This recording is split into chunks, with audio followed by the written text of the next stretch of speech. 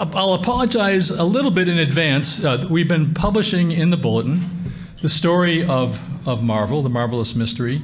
So some of what you're going to see, you probably have already seen at some level in the bulletin. And this is sort of the rest of the story.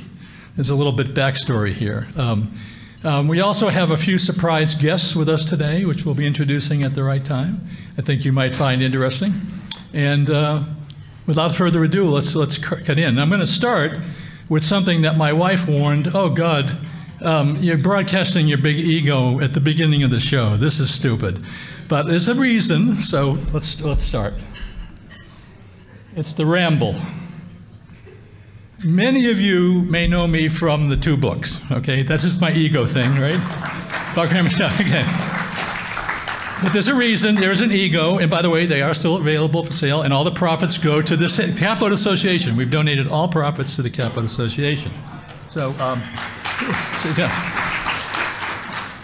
But the reason I bring that up is because if you've read the books, you know that it's about our family's love affair with this old boat, the Buckrammer, 1908 Charles Crosby.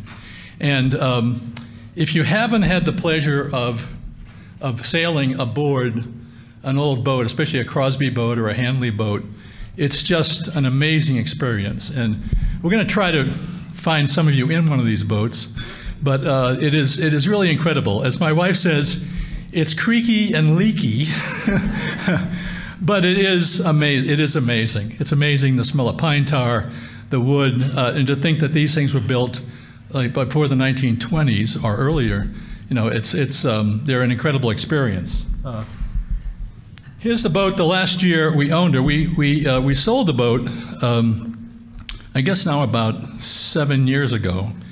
And the reason for that is uh, you know, we use the boat like many of you do as sort of a summer house. And uh, the kids loved it, and we used it every weekend and during the summer when they were off of school, and I took week time off. But they grew up, unfortunately. And, uh, and my oldest daughter and her family moved to France.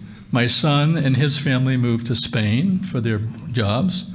My youngest daughter moved to Washington, D.C. And so uh, that left myself and one of my sailing buddies, who's usually here, Gene Kennedy, uh, to, oh, he's over there, there he is, to, uh, to sail the boat or single hand the boat. And uh, the last year we, we had Buckrammer, um, I sailed her all of six times for an average, a total time of about 24 hours. And uh, it was just maybe time. Uh, my wife um, did the math. She said, "Let me see. I think you spent 7,500, or we spent 75. I wrote checks for 7,500 for 24 hours, which is about $312.50 an hour." and when I would get back from a couple of hours of sailing with uh, with Gene, uh, she would have a comment, something like this. and she's a saint, believe me. She's a saint for putting up with us all. But, but I, I okay, I got it. So we, we sold the boat to a very capable merchant marine uh, captain who took her to Gloucester and enjoyed her for many years.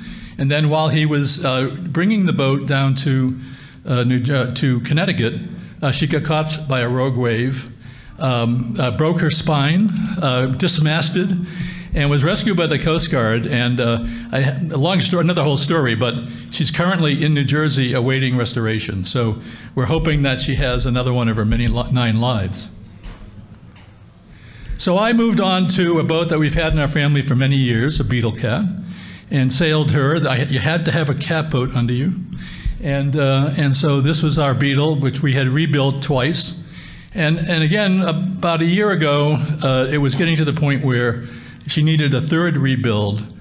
I just didn't have it in me. And so we donated her to the International Yacht Restoration School. And I think many of you know that they will take um, amazingly dilapidated beetles and bring them back, back to life. So uh, that's where the driftwood is currently. Which brings us to November. Now, I began to broadcast to the cast of characters that I play with that I was looking for another catboat. I needed a catboat under me. And ideally, it would be a catboat, a fiberglass catboat, radical, like a little Marshall or an Arey's Pond or a Menger, probably used so I could afford it. And, um, and the, the advantage of, of a fiberglass boat, as you know, is that, as Jeff Marshall and Tony Davis say, it only requires one tool for annual maintenance a garden hose. you know, you hose it off in the spring, and off you go, right? This is it. So, this is why I was looking for something that maybe didn't require the journey of a thousand steps to get her into the, into the water. Which brings me to this character. who is, I guess, not here. I guess he's left. He knew this was coming.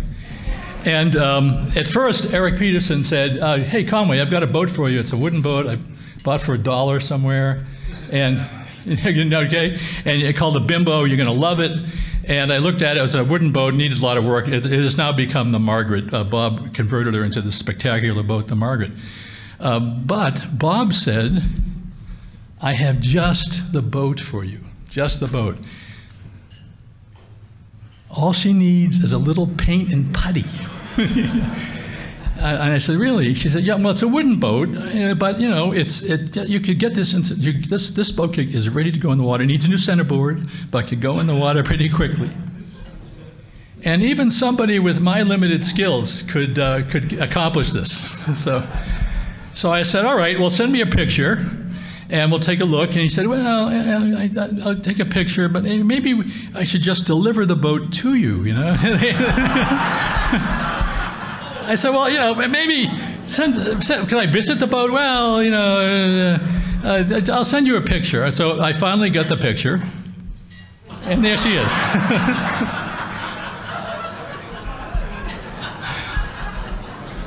I think that I think that that that's, that port side needed a little paint, maybe. No, actually, this is not. This is not the boat. I'm sorry. A little, a little joke. This is this is the boat. And uh, and I must say, I looked when we looked at this, uh, we kind of fell in love. I said, "Oh my goodness, this is a this is a very special boat. Her sheer was beautiful. It doesn't look like the Buckrammer. Buckrammer was built as a fishing boat. This boat was built as a racing boat. Uh, had an underslung rudder, and um, and certainly needed some work, but I wasn't sure how much. But it was something that might might be doable. And on top of that, the, the killer was Bob said she might be this historic D-class racing boat, the Marvel. And I went, oh my goodness. I said, oh. This is one of many pictures of Marvel uh, taken in 1904 through 1907. And uh, I, I, didn't know what a D-class boat meant, but I thought, oh, this, this looks pretty special. So this presented me with a dilemma. The dilemma was, should I invest in rescuing a historic cat boat again? You know, this is it. But would this result in a divorce, which is a distinct, a distinct possibility, right? And I thought, but it could be Buckrammer 2.0, you know, Buckrammer 2.0. Um, but then again, there's that serendipity, if it's all in shape and so forth and so on.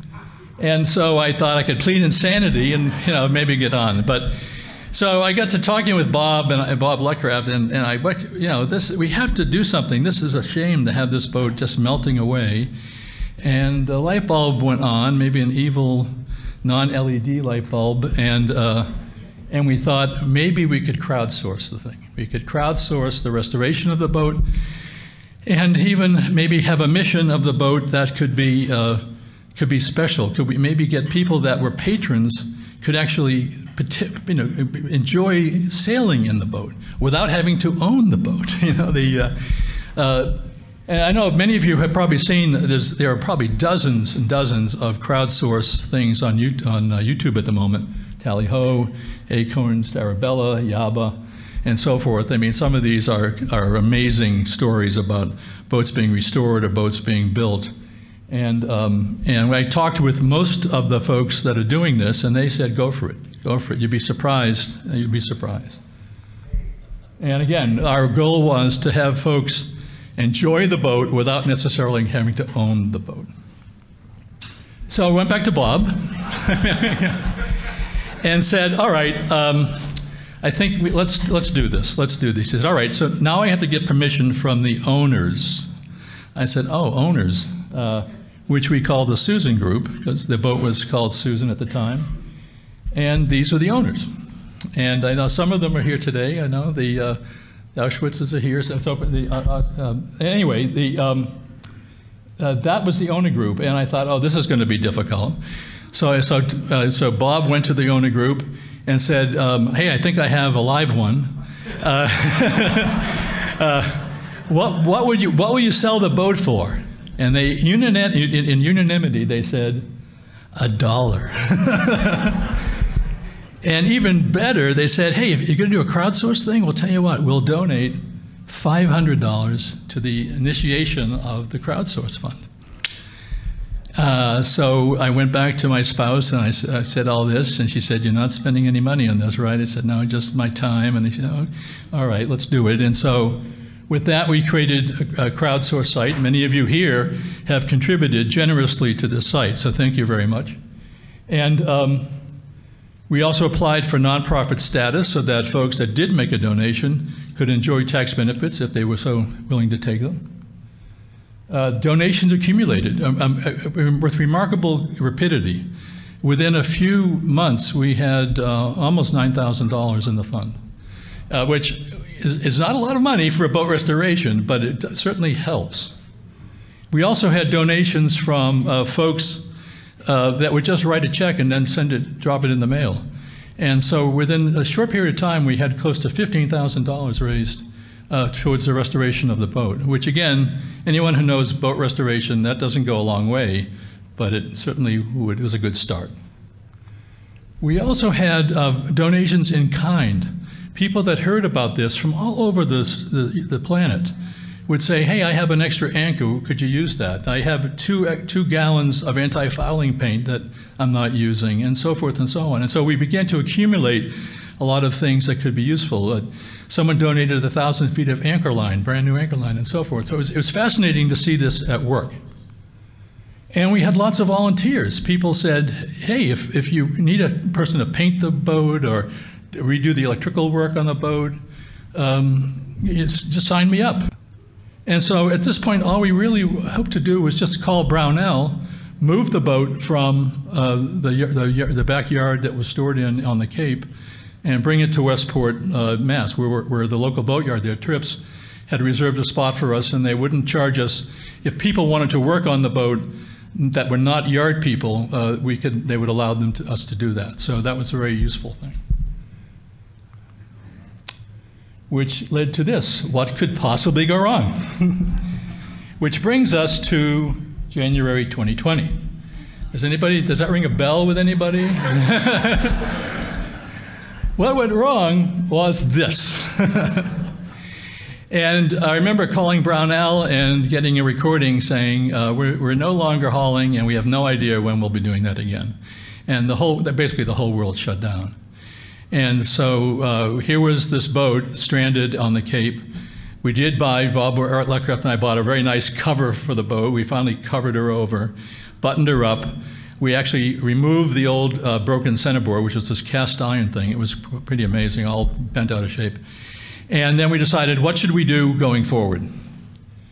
And what we decided to do was to research the boat. And uh, because you can do this on a computer, you don't need to be wear a mask. And uh, we enlisted uh, Stan Grayson, who you know, who's written many books on catboats. Uh, Joe Chatwick, I don't know, is he here? I don't know if Joe is here. There he is, over in the corner there. And, um, and others uh, to do the, the, research. Was this the marvel? So now I'm going to quickly kind of go through this. Some of you have seen this. Uh, there were three things that suggested she might be the marvel. First was uh, registration papers with the state of Massachusetts that, uh, that by its then owner, Ira Whittemore, who said the boat was, was built by Herb Crosby in 1904. Uh, or maybe by Daniel, or maybe by Charles Crosby. but we did see in early photographs there was a builder's plate, H, H.F. Crosby. So we thought, all right, this is probably a Crosby boat. Um, we later also discovered that it wasn't actually built for Ira Whittemore.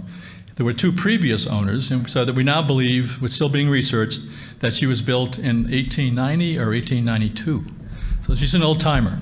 Uh, we also had the, a, a, giant photograph that had been given to me, which we have on display in the in the boathouse uh, next door here. And, uh, and it was a DCAT. And we had originally, the, we saw the builder's plate, but the builder's plate had been stolen uh, on the Cape by somebody who turns builder's plates into belt buckles. And um, so we, we knew it had the builder's plate at one time, but uh, the builder's plate was missing, but we did have photographs. Okay, so very quickly, so what is a DCAT? What is a DCAT? Well, at the time, uh, this is 2020, Stan Grayson was writing this article, which would appear a year later in Wooden Boat magazine. And uh, the DCATs were actually an, a made up class of boat uh, that were repurposed, recycled versions of these boats from the golden age of, uh, of cat boating. The, uh, you know, the C.C. Uh, Hanley wrote, uh, invented the Harbinger when he saw a race, said, I can build one of these things, and he, and he did, and that won all the races, and then everybody wanted a racing cat boat. And so uh, Marvel's heritage is in this class of boats. But the rich folks that owned these boats only raced them from about 1880, 85 to about 1900, and then put them on the hard and forgot about them. So this group, this group in, uh, in Quincy resurrected the boats, and, uh, and the reason they've actually survived to this point is that uh, there has been a history of these boats being survived, surviving from that point. This is the only D-class boat that we know of that is currently under sail. This is the Grayling, uh, Doug Goldhirsch's boat up in Maine. And you can see what a boat that's fully rigged um, in 19 in uh, 2023 looks like. And uh, uh, I'm told that it's a bit of a bullet when it when it goes. We're dying to race one of these things against a Kathleen, which is also a bullet. But but uh, it's uh, they're tremendously over canvassed. So here's a, I'll quickly I'll step through. So the research was we had lots of photographs of Marvel. Uh, the newspapers actually provide a very good uh, uh, illustration of the of the of the the races and so forth. If you if you type in catboats into the newspapers.com site, you get 24,000 hits. But but if you type Marvel into the Boston Globe at this time, you get 12 hits. And the uh, the Globe used to report uh, on these boats because there were significant money purses involved in the races, and and every Sunday there'd be an entire page in the Boston Sunday Globe that gave all the race results and the purses that were awarded and so forth. It was sort of like somebody following the horse races. Uh, so here's the owner in 1904 of the boat, Ira Whittemore. It's the only known picture that, we, that Stan Grayson's been able to find of Ira. Here's an example of a, of a chunk from the Boston Globe that shows the boats that raced. Every one of these boats was a D-class boat that was a repurposed Golden Age boat. You can see there are many in the fleet. And even Rudder Magazine, which was the magazine of boating at the time, followed, uh, followed these boats. And, uh, and here's, here's a, a, clip from one of the boats. It shows actually how many races the Marvel won um, that particular season. Uh, now, the interesting thing is that again, we're trying to find out is this the Marvel? And the, the documentation keeps calling it a Crosby boat, but, but almost never identifies it as a Herb Crosby or a Daniel Crosby or a Charles Crosby, just a Crosby boat, which is frustrating. You can see here, uh, it's just mentioned as a Crosby boat from Osterville. Now, in 1907, it turns out Stan stumbled on an ad that was in the Rudder magazine that the boat, after having an incredible 1904, 1905, 1906 winning season, uh, was suddenly put up for sale.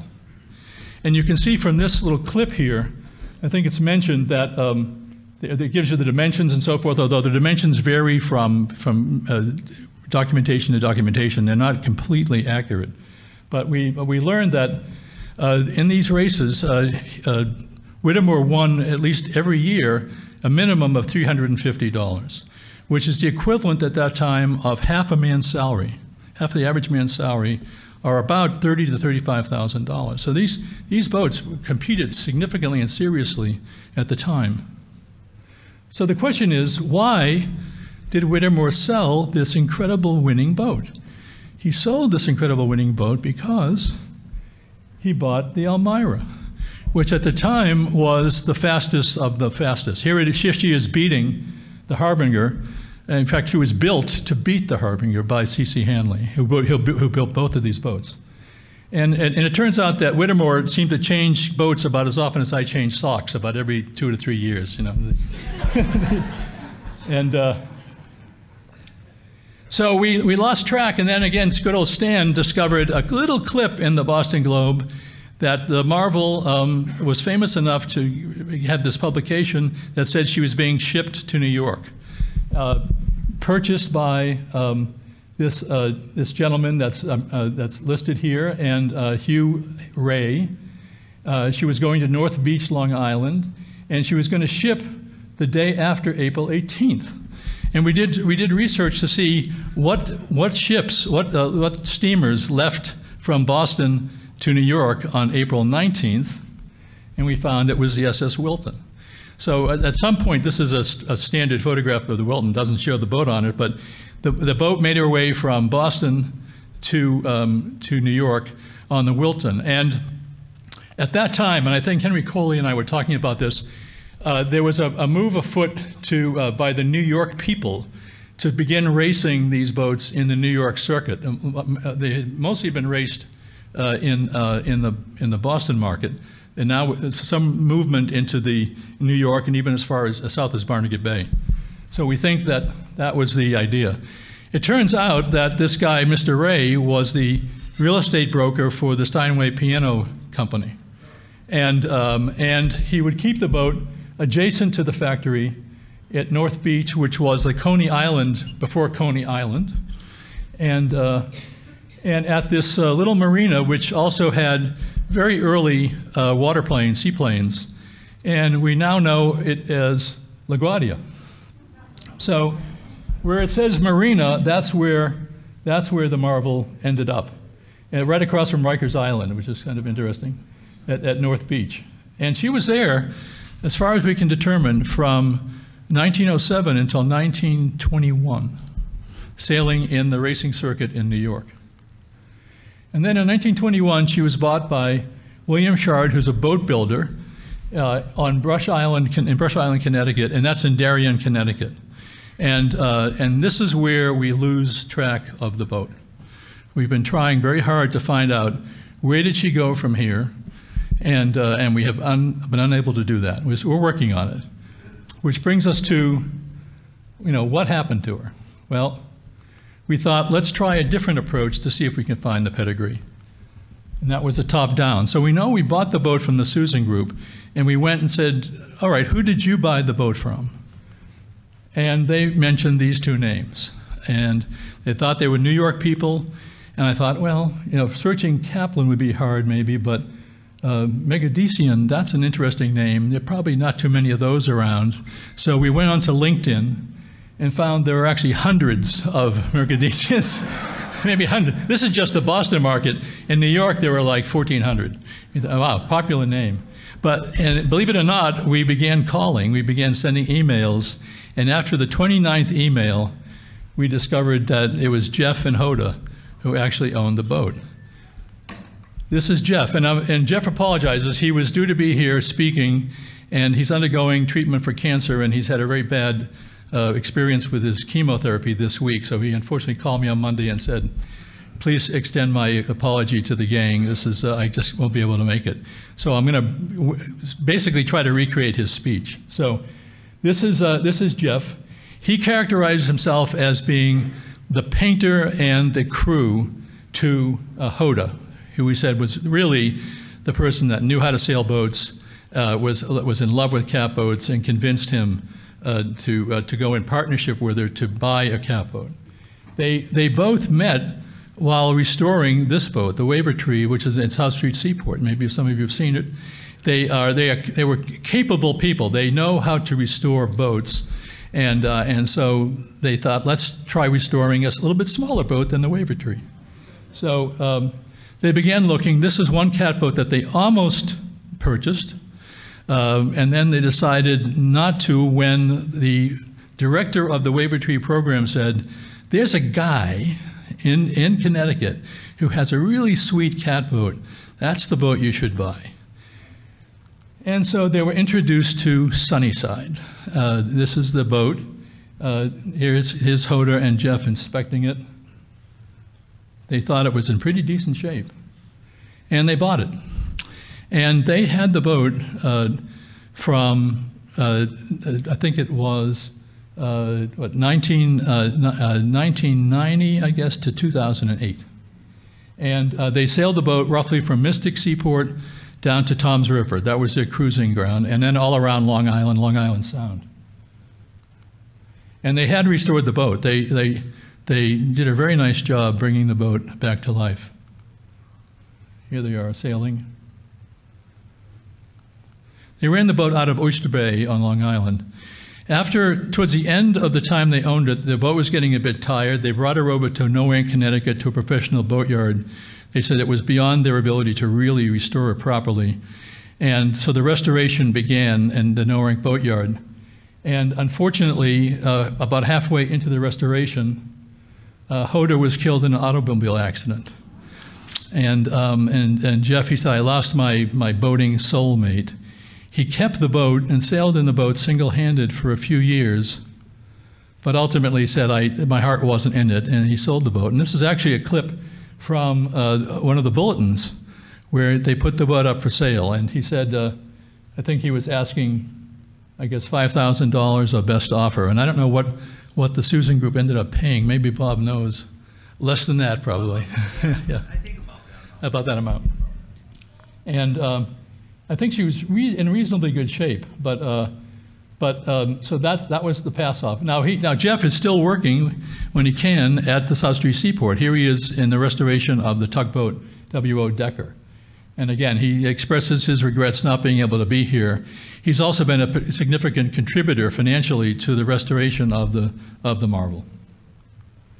Okay, so now we knew that um, we knew Jeff, and um, we said, "Who did you who did you buy the boat from?" you know, and he said, We bought it from Walter. Uh, Walter, uh, also known as Bucky, and uh, Krasnowitz. And uh, so we started another search. And uh, through LinkedIn, uh, a long story, we finally um, encountered the oldest daughter of, um, of Bucky, Catherine Green, lives in California.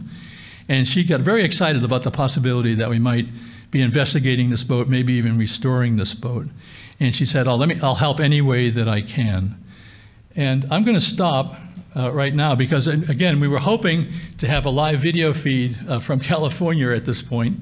Uh, but uh, Catherine's had a, a, a, kind of a bad year. She, her son passed away unexpectedly, and uh, mudslides have kind of wrecked a lot of her life right at the moment out in California. But we are lucky to have with us today uh, Catherine's sister, um, uh, Beth Buckley and her brother, Tom Krasnowitz. Why don't you guys come up? Please put your hands together.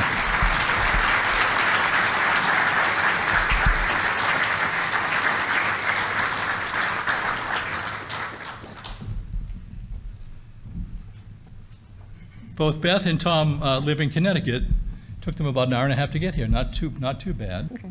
Catherine Halloran and Walter Krasnowitz, both born and raised in Stamford, Connecticut fell in love and married in 1948.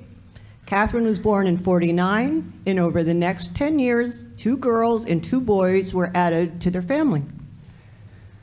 Uh, here they all are in our family card. their second Studebaker.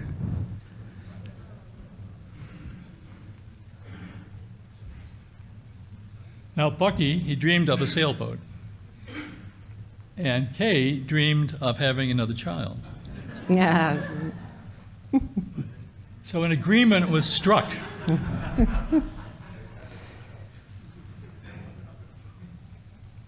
Bucky got his catboat.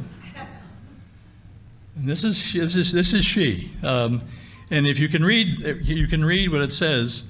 Uh, this catboat is missing its motor, its propeller, and its shaft, and its keel. and he paid, he paid $300 for this in 1961. Uh, and one thing I want you to take a look at, that little arrow there that just came up, the bill of sale is signed by both Helen Chase and, uh, and Alfred Chase. And we're going to come back to Hel- Helen in a little bit. You'll see what, but that fits into the story. But um, who in this room would pay $300 for a boat without a motor, a prop, a key, or a, key, or a keel? Now, Kate got the baby boy. And here's the baby boy. This is Patrick. And if you look at the bill of sale for Patrick, you see, he only cost $239. So the question is who got the better deal? All right, I'm going to turn it back over to Beth. Go ahead, Beth. I'm sorry. Uh, Catherine remembers the day the boat arrived at their home. It was raining, and she was walking to junior high when a flatbed truck passed her on the highway, taking up two lanes. She wasn't there for the landing, but it must have been a challenge, challenge since their house was on a hill and it had to be backed in besides the garage. When she got home and saw, and saw it, she thought, what was her father doing with a bottomless boat? And, and it truly was a, a bottomless, a bottomless boat. The, uh, now this is, I'll, I'll, I'll jump in here because the, the, uh, it's interesting. Uh, they, they, as you'll see later, they, the, the family and Walter and Bucky had a, a very strong relationship with an artist who did the Cats and Katzenjammer Kids, uh, named Peter Wells. And a lot of the, uh, the history of this boat is illustrated uh, by Peter Wells. And so this is an illustration that Wells created in partnership with Bucky that um, explains the, um, the, the, the rebuilding. They called it the, the resurrection phase of the boat, which lasted from roughly 1962 to 1968. Okay, I'll move on. Uh, the catboat was in the yard until the late 1960s. The name Sunnyside was chosen as a nod to our mother's fondness for Washington Irving's Hudson Valley home, Sunnyside, and Bucky's business location on Sunnyside Avenue in Stamford. And one of these people, I think it's, it's Beth, you're in the back of that sled, right? Yes, indeed. Yep. Ah, Peter Wells was a member, I just heard. Okay. Uh, here's Tom, my brother Tom, painting the bottom of Sunnyside at uh, Marina America. Tom can tell you how his dad repaired the leaks with a coffee can of sawdust and what Bucky used to, in place of a centerboard when he was first launched. Do you want to make any comment about this, Tom? You're being accused of, of stop- stopping leaks with, with, uh, with sawdust. Actually, the transom was uh, leaking a little bit when they set it in, a- and they held it in a slings. And they put the uh, sawdust in the tin can, flipped it around, and would go into the crack and seal it up. And it was, I was kind of amazed at that. But It was a simple trick and it worked, so It they worked. both kept going. I think, I think there are probably several in this room who have, had, have used the same trick. I know that Bob has. Uh, Bob Elkhart has. Uh, and off, Bucky sails out of Stamford Harbor into the Sound. And here he is uh, with a big smile on his face, I think, here and uh, enjoying the enjoying the boat. They, uh, one of the things that I, I, will mention, you'll see this later on when we qu- very quickly go through the restoration that, uh, that, that we conducted, is that, and I think Tom, you were making the comment that um, uh, Bucky owned a, um, a, salvage business, and uh, and so collected all manner of things from like the Luders Boatyard and others, and and put them together to in, into the boat. Some people have, for example, criticized the fact or noted that the port lights on, on Sunnyside don't match the, the picture of the port lights on the Marvel. And that's because the, the entire cabin was replaced at some time. And as far as we know, we believe, and you'll see later, that Bucky probably used salvaged port lights to replace the ones that were in the boat originally. So the boat has gone through a number of trans, uh, trans, uh, you know, transitions over the course of time. Oh, where were we here? Having a lot of kids helps when you need a crew. In the 70s, uh, myself, Tom, Tim, Patrick, and Marianne were favorites. I had a question about that. You said that you, Catherine says that you guys were favorites. What did that mean? What happened? that, that you were favorites. Uh, that that you were that you were favorites. Does that mean she was not a favorite? You have to, you'll have to ask her. okay, okay. I'm just reading it. Uh, ship's logs of 1977 to 1980 tell the story of where Sunnyside went and when, what the occasion was, and who was aboard. The Hudson River, Oyster River, Mystic, Narragansett, Rhode Island, Falmouth, Osterville, Martha's Vineyard, Barnstable, Plymouth, Chelsea, Sandwich, Mattapoisett, Mil- Milford, and more. Wow. Yeah, this was a, she, she was a well-traveled boat, and in fact, even made her way to Boston for one of the tall ships uh, events. And Yeah. you can see, Sun- Sunnyside was in Boston Harbor on May 30th, 1980, for Boston's 350th anniversary.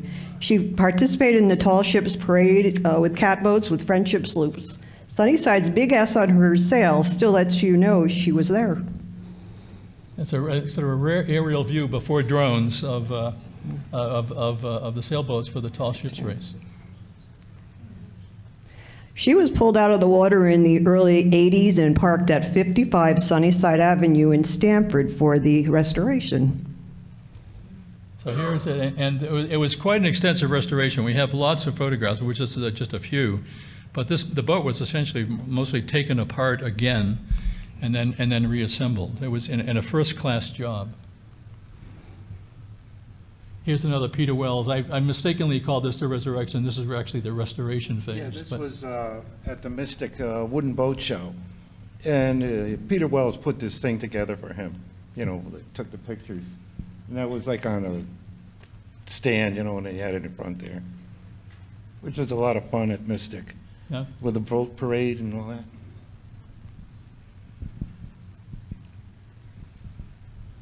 Am I reading this? You can just read that. that, Okay. yeah. Over the years, many people worked on Sunnyside. That, of course, included Bucky and his children, as well as employees at his business, Vulcan Surplus. Plus, he was fortunate to have known many talented craftspeople that included those from Luders Marine Construction in Stamford, Connecticut, some of whom had worked on the construction of the America's Cup boat Weatherly at Luders. And I'll just comment that, as you'll see, uh, that uh, we actually took a page uh, from this approach and had lots and lots of volunteers, a whole volunteer army, basically, Navy, what maybe, uh, work on the restoration of which Bob Luckraft here was one of the principals. Sitting pretty and ready to go. This time we paint with the tides. Tom under the boat and Uncle Pitch standing by.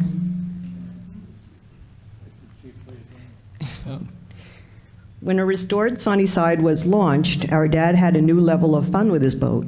Boat parades, catboat and antique boat get-togethers, and more sails with family and friends. He was happy, happiest when aboard. The Broad Axe Award for recognition of the restoration of an old catboat was, of course, a high point in his life. The award stated, and I quote, "The recipient of this year's Broad Axe Award decided to buy a bottomless 1905 Herbert Crosby cat and had her delivered to his backyard in 1962 on a flatbed truck. This period was known as the Resurrection. Work started immediately, reframing, replanking, and redecking with the help of his family and friends. She was relaunched in 1969. This man, whose middle name is Work, was not satisfied, so now came the period known as Restoration. Everything needed replacement or repairs was done, including new, new mast, boom, gaff, stainless fittings, transom, coamings, etc. The, the uh, boat was relaunched in 1984. And I'll have to, and I'll have to mention that we, we had no idea as we were doing the research on this boat that uh, that Walter Bucky was a member of the Catboat Association, or that he had received the Broad Axe Award uh, for the second restoration. This was this came out of the blue. Uh, uh, we, I was talking with Catherine Green. Uh, during one of our sessions, and she said, um, "Oh yeah, by the way, you know, what, what is the Broad Axe Award? This is, I think, the dad got this." So I, mean, I went, "Oh my goodness!" So the that was that was a huge surprise, and you can see the Broad Axe is out on display in the lobby here. Having a sail on Sunnyside was a favorite with Dad's uh, friends. Among them, cartoonist Peter Wells, a catboat owner as well, often would give him a cartoon after each sail.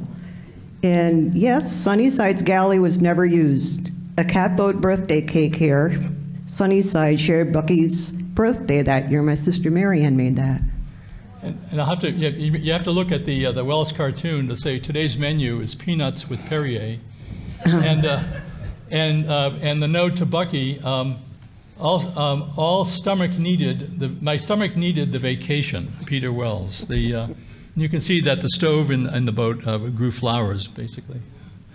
Well, Peter Wells was another catboat guy. Yes, we, we just learned that he was a member of the Catboat Yeah, Association. yeah. but he was always wanted to have eggs Ah. on the, on his boat.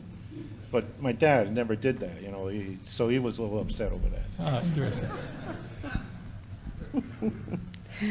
What can I say? There's nothing like sailing the boat you rescued and restored. Yeah, and this is, a, this is a, a great shot of Bucky at the helm and a little bit of water here going, and uh, with a little bit of heel, and uh, looks like he's enjoying himself. John, I think um, uh, Peter Wells owned Valiant, Charles Crosby. Okay, oh, Crosby Valiant. Okay, we just heard that. Charles Crosby, as we both we don't know Charles Crosby. So here's the um, here's the another Peter Wells. This probably the saddest of the Peter Wells illustrations, which is documenting the sale of Sunnyside in uh, in 1990. And I don't know, is there is there part of the script in that or no? No, just the top there. Just just here, and um, I, I can, we can all imagine that uh, after owning this boat for so many years, that this must have been a, a bit of, of a trauma. Yeah, it was both, you know, sad, but happy to see it go. Yeah. There's a lot of maintenance to that boat, but, uh, you learned a lot of things on it through the years when I was growing up, you know, and I learned, uh, it was quite an education, you know, to, uh, work on that thing.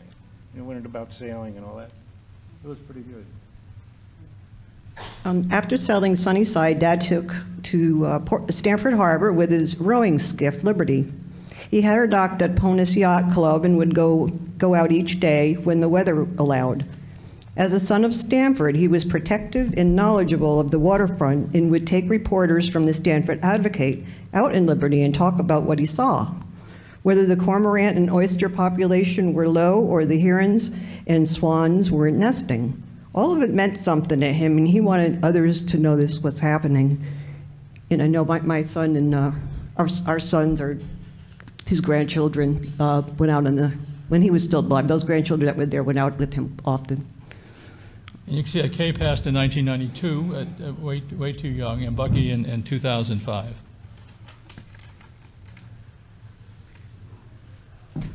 Um, Whether the boat is Sunnyside Susan, Marvel, Elaine, or Suspect, she will always remain a member of her family. There are still many stories to tell of the sails that Dad took in Long Island Sound and along the Atlantic coast. Just ask my siblings. Thank you all for taking on the challenge of putting her back in the water. We look forward to its sail sometime soon. Love Bucky and Kay's kids.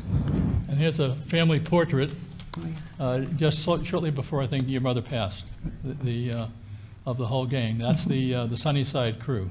So, says, I would like to dedicate this section of the presentation to my family and to the memory of my mother and father, and especially to my son Matthew. We looked forward to spending summers in Connecticut and loved going out on the water with Grandpa. Now, now Beth and Tom will be available afterwards if you guys want to share any, any stories and so forth. We're going to move on to the next phase. So we knew that, uh, that Walter uh, had the boat, and, and he bought it from someone named El- Helen and Alfred Chase. So uh, we began to research, again, uh, Stan and, and, and Joe Chaswin began to look into who is Alfred Chase? Is there, is there a connection there somehow? And we came across uh, this letter which, um, where Chase was trying to convince the Universal Motor Company to convert a gas engine in his boat to a diesel engine. They said it can't be done.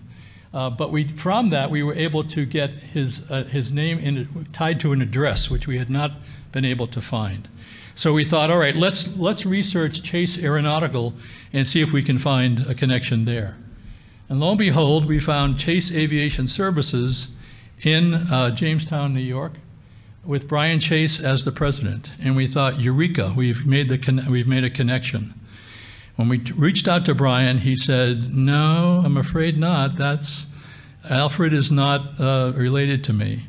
But he said, let me take a look at the paperwork and I'll see if maybe it triggers something. And I think earlier I mentioned, um, take a look at, at uh, oops, take a look at uh, the Helen Chase signature. And when he saw the Helen Chase signature as he was reviewing the documentation, he said, You know, my grandmother was Helen Chase. Um, and, uh, but she was married to Edmund Chase. Uh, we, we just heard from him about three days ago that it looks like um, that Alfred was, um, was the first marriage. His brother uh, married his wife when he passed. So uh, Brian is, is now going through family papers to see if he can find ownership records and photographs and so forth of the boat uh, from 1961 uh, back. So it's a, it's a, it's a, it's a, it's a mission in process. So here's the, uh, here's the, the provenance of the boat from being found in a field in Westport, Connecticut, all the way through being found in a field in, on Cape Cod and, and everything in between. So the question is, is she the marvel? So we know that uh, the research stops in 1921 um, in roughly Darien, Connecticut.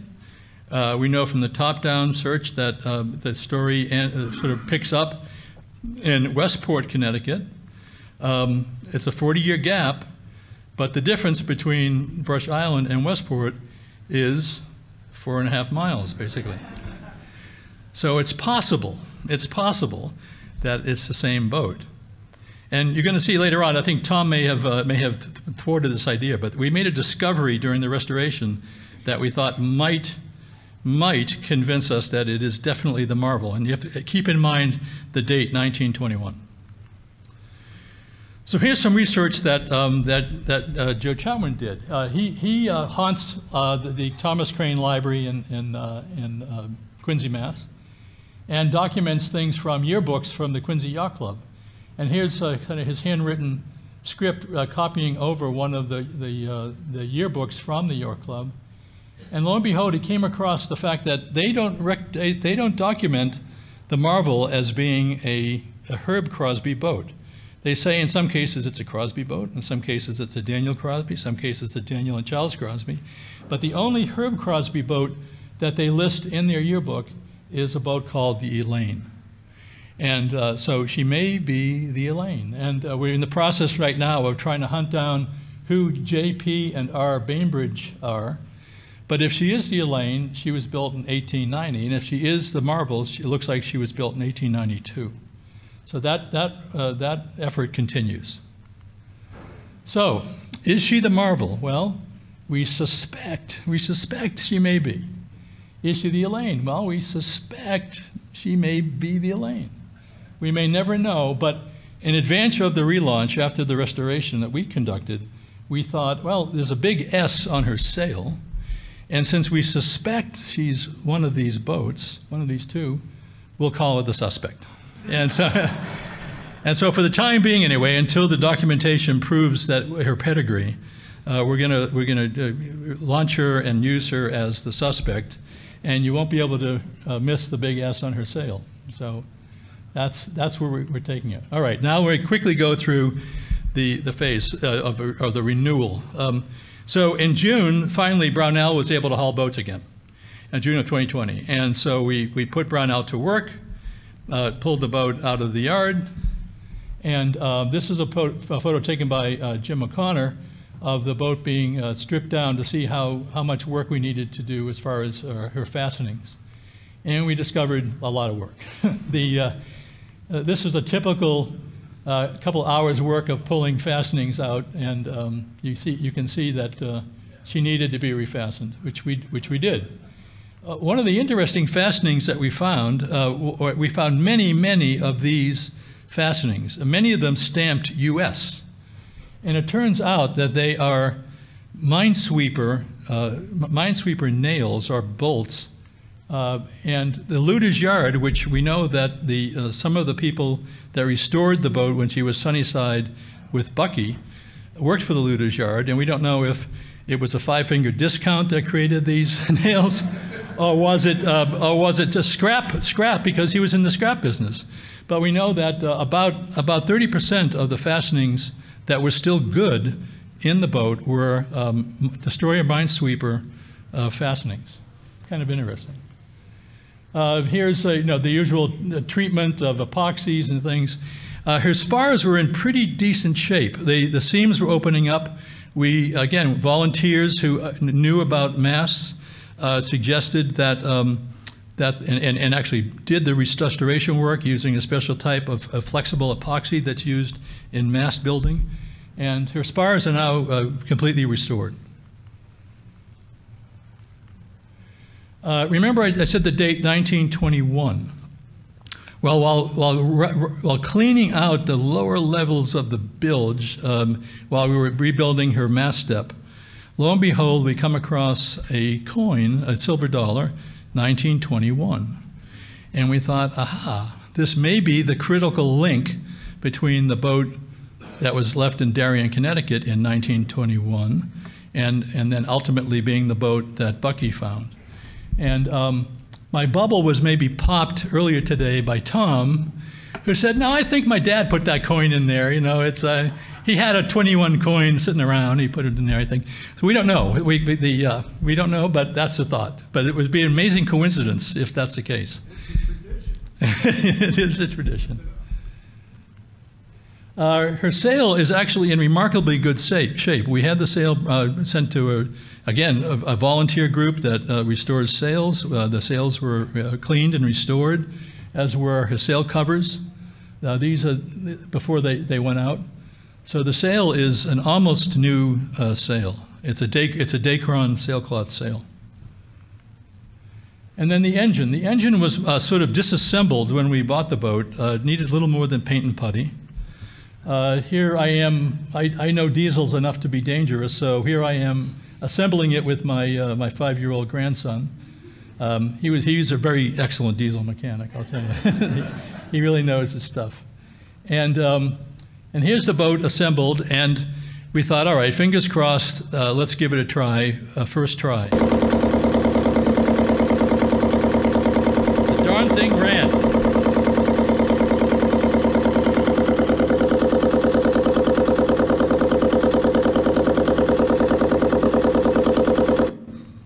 Okay, it, it, it did run. And, and uh, we did have, in order to make it run, we did have the starter motor and the alternator rebuilt. And again, uh, it was done mostly uh, through volunteers. Uh, we did find a pinhole in her exhaust hose, which we, uh, experts told us, oh, use rescue tape, which is this amazing stuff. If you don't know what that is, it's, uh, you should look into it. It's a, it's a flexible tape that becomes a, a high temperature um, sort of bandage, uh, a permanent bandage for things like exhaust. It's used for apparently for muffler, exhaust pipes and mufflers and things. So, uh, and we've tested this and it looks pretty solid. We also replaced the gauges. Uh, you see a lot of varnish work. We had a whole team of folks who did varnishing for us. They came in uh, and did the varnish work. And again, volunteers were key to the success of this. Uh, the monies that were raised were mostly used for supplies, for insurance, and for storage some new cabinetry. Uh, we salvaged some teak from various parts of the boat that we didn't think needed the teak and built things like new hatches so that we gain access to fuel tanks and different things that we didn't have access to in the past. Uh, this character, George Schuld, who's part of the, uh, I'll, I'll, say that the, the, uh, the Silent Maid group, I will say, the Silent Maid group, uh, said you needed to have a, a, a special racing version of a pull, a, a, winch to pull up the centerboard. Uh, this is what it looked like. He secured one, uh, and again, this was at their at the Silent Maid's cost. They secured one from England, and um, and in addition, they had a computer design a new centerboard, and uh, had it made out of space age material. And here's George delivering the, the thing, the unveiling. Wow, incredible. This is made out of uh, a G10. It's uh, it's it's uh, negatively buoyant. Um, it'll be the boat will be long gone, and this centerboard will still be in existence somewhere. And and uh, and uh, and again, this was done uh, courtesy of the Silent Maid Group. Um, and uh, George is their expert on centerboards. Give me a thumbs up here. centerboards and and and winches for centerboards. Here's a video of the boat going up. Uh, the boatyard had no capacity to lift the boat uh, Fantastic. properly, and so we had to dig a six-foot trench under the boat in order to install the centerboard. And she is going up into the into the trunk. There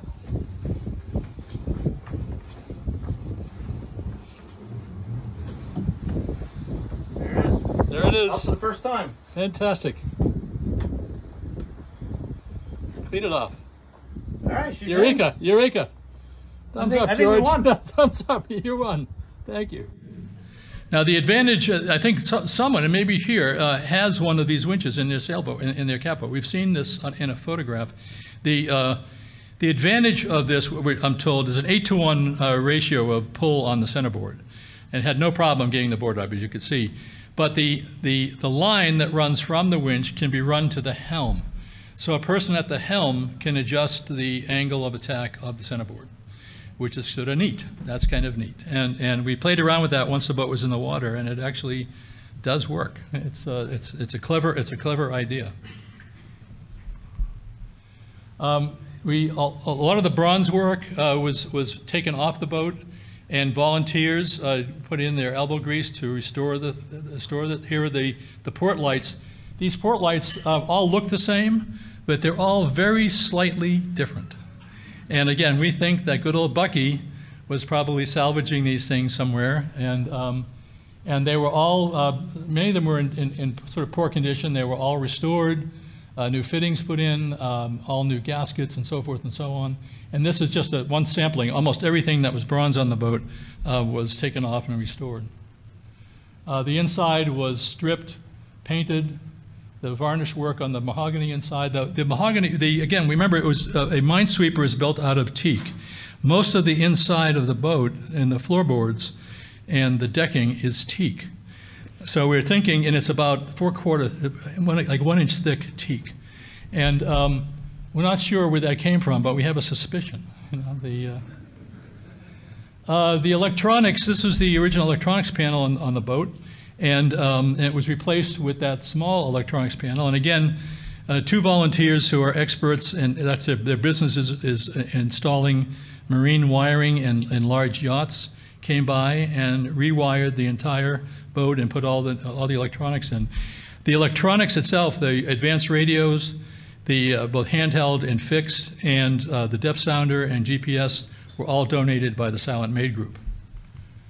Here's uh, some of the wiring. And yes, that's knob and tube wiring. The boat still had some of its original knob and tube wiring, which was, uh, which was in vogue back in the early 1900s. And decks were refastened and all kinds of things like that. New bilge pumps put in. Uh, remember, I said that the, the, uh, the, the bilges plate had been stolen, and I think it was Bob Jones that lent us Patience uh, uh, uh, plate from his Herb Crosby boat. And um, you can see that old photograph of where the plate used to be. And um, a local founder in, uh, in Westport, Mass, volunteered his services to create uh, new copies of, of that. And uh, we've given one to Bob, I think, for his, for his Herb Crosby boat. And, um, and we've donated one to the uh, museum, the, the Crosby Museum in, in Osterville. But uh, it was a, it's a sort of a perfect reproduction. So here's the boat as we came into this spring. It was, this is an April photograph. And she's basically looking pretty good. She was, at that point, what we considered just fully restored. The, uh, her spars were restored, the boat was restored, engine running, ready to go. And uh, so we invited some, some celebrities. These are the, uh, that's Andy Crosby and his wife. Um, his great great grandfather built this boat. It was Herb Crosby. So if this is a Herb Crosby boat, that is his great great grandfather's boat. And then you see Beth and Tom, um, who you've just seen. And uh, they were all pretty pleased at the progress we had made on the boat. So the launch and relaunch. Here's the boat, the, uh, the first of three uh, launches that we, we conducted over the course of the summer.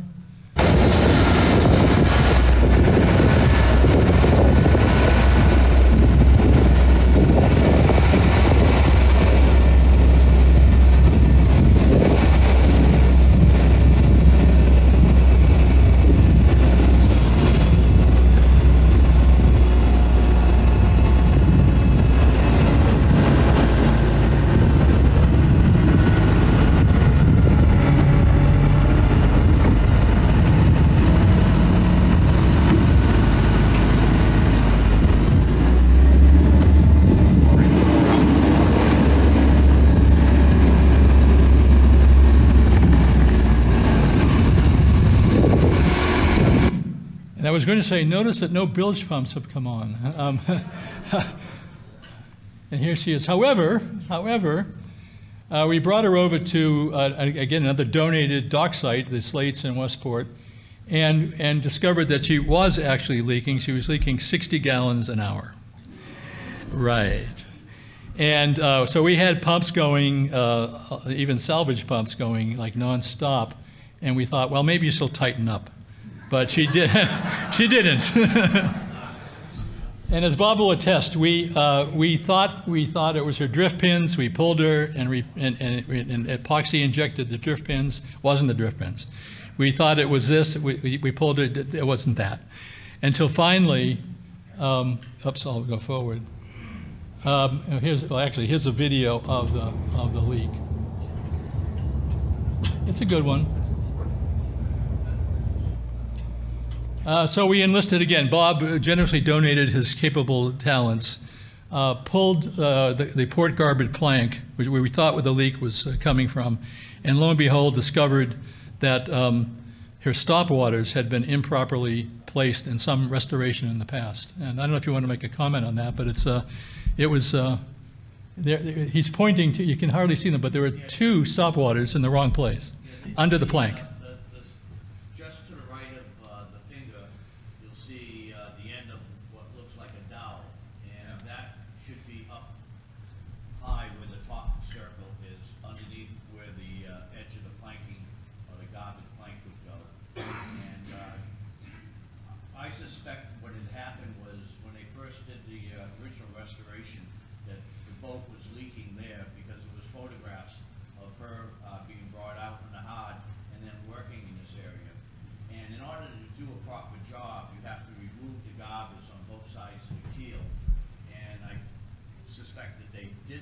right. that they put the stop water down below, and all the planks on this boat were Resorcinol glued in. So I think the Resorcinol glue and a kind of faulty uh, stop water kept the boat floating for quite few years. Yeah. But not, not here. Anyway, uh, Bob um, built a new plank, recaulked the boat, um, put it all back together. We filled the boat with water, and she's tight. So that was good. But we noted, we had also noticed that when the boat was in the water, uh, the engine would start, but as soon as you'd put the engine into gear, it would stall.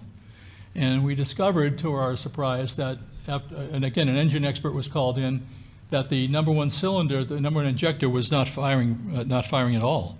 The engine was actually running on one cylinder.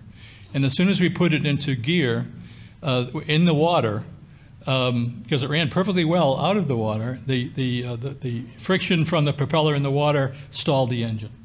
And uh, we tried desperately to get that injector out. That injector should have come out as easily as a spark plug comes out of a lawnmower, but we discovered that uh, both injectors were fused into the block. And uh, we tried, we had all kinds of experts come and try to get that bloody injector out, and no, no luck. So we finally decided, let's pull the head we did. There's the head off. And um, in trying to get the injectors out in a motor rebuilding shop, they actually pulled out the injector along with its, um, its, its coupling, its water coupling, and effectively destroyed the head. so, so we put out on eBay, anybody have an MD7A Volvo head? And lo and behold, Sweden had one. And uh, and, uh, and this is the, in a matter, from ordering it to delivery was seven days in Sweden. It was all wrapped in like cosmoline, and um, with, with, they claimed new injectors, and it had been machined flat, and it all looked very good. We had an expert look at it, and they said, gee. But just for safety's sake, we took the injectors out, and they came out just like pulling a radish out of wet ground. Brought them over to Associated Diesel in Dorchester, Mass., who's an expert on, on these types of diesels. And here's, um, here's the proprietor uh, testing the injectors. And I don't know if you've ever seen an injector fire, so this will show you what an injector looks like when it fires. That's, that's a good one. That's a good one. I'm gonna, I'm gonna back it up.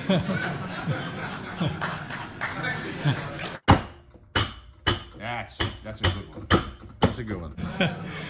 we ended up having two good ones, but it, I, have, I had no idea that the injector fires in a, in a pattern that looks like a big X. That, that's what's going on inside your diesel engine, by the way. So just thought you'd find that entertaining. so here's the boat where she sits. So she's uh, ready to go back in the water. Uh, we're hoping to launch her uh, in April, and maybe end of April, weather permitting, and, um, and enjoy the season that we hope to have had this year with, uh, with the boat. Um, so where do we go from here? Well, as many of you know, many of you contributed, uh, we set up a Go Get funding page. We created a nonprofit organization, uh, Historic Restoration Marvel Project, um, which has now evolved into the Catboat Preservation Group. And if you look on your table, you will see little cards which uh, allow you to link to the website and do other kinds of things like make donations. And uh, so the, the mission is, again, our goal is uh, the, the boat is owned by the Catboat Preservation Group, and the idea is that we want people, like folks in this room, to have a sail in this boat, to sail in this boat, because it's really a remarkable experience. Uh, you'll see uh, bandits around. The little card on the side is what you'll find on the table. Uh, also, I think Skip had mentioned that um, that we're going to have a new column in the uh, Catboat Association Bulletin, the Save This Cat, very, very much like what's in Wooden Boat magazine where we will list two or three catboats that are worthy of saving. They're, they may require paint and putty, maybe a little bit more. but, are, but if you're interested or you know of anybody who's interested, uh, it's a boat that's worth save, saving. And, and, we're in Ben, ben DeLong, who's here somewhere, has been researching these, and he's amazing at hunting down these boats that are on the, on the cusp of being savable or not. Um, uh, what we're going to do is we're going to post uh, uh, a schedule that aligns with the rendezvous schedule in the Catboat Association. So if you go on to the website, you, you, you, link in, you'll see as the boat makes her way from these various sites um, where the boat will be. And our goal is to have the boat uh, there early, a few days before the rendezvous and a few days after the rendezvous. So anybody who wants to sail on the boat, either before the race or during the race, uh, all you have to do is sign up. Sign up and do it. There'll be no charge. Uh, donors will be given uh, preference, but we're not really charging for this. We want to have, we want to put butts in boats, and and uh, that's that's the idea. So uh, so just keep an eye on, the, log into the website, take a look, and um, and we hope to see you on the boat. So this is sort of the finish. The uh, again, this the Grayling um, is uh, also, we think, going to make your way down from Maine and will join the fleet. Uh, Doug Goldhirsch, who unfortunately couldn't be here today, um, has suggested that uh, he would like to have uh, patrons on the boat. And, um, and hopefully uh, Marvel, Elaine, whoever, suspect will be, uh, will be afloat this season. We would encourage you, again, if you can, to make a donation. If everybody that owned a boat in this room donated $5, that pays for the insurance for the year. If everybody in this room that owned a boat paid $25, that's, that's, the, that's this season's expenses. So I would encourage you, if, you like, if you'd like to see this boat in the water in action and you'd like to have the opportunity to cruise on the boat or to sail on the boat, um, please consider a donation. And with that, I'll, I'll say adieu. Thank you.